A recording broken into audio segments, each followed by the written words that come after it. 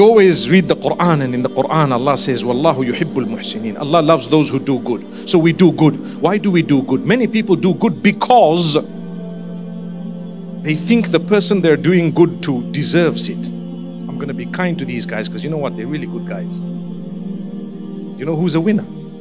A winner is the one who's kind to those who are kind and unkind.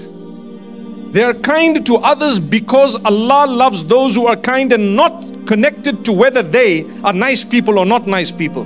The minute you're kind to someone because you think they deserve it, you will be let down. But if I'm nice to you because I believe Allah loves those who are nice and kind, I'm never let down. No matter how you react, even if you let me down one day, but in actual fact, I did the goodness to you because Allah loves those who do good not because you actually deserved it.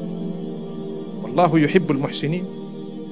I was good to you, I was kind to you, I greeted you, I prayed for you, I reached out to you, I gave you, I helped you up, not because I want anything in return.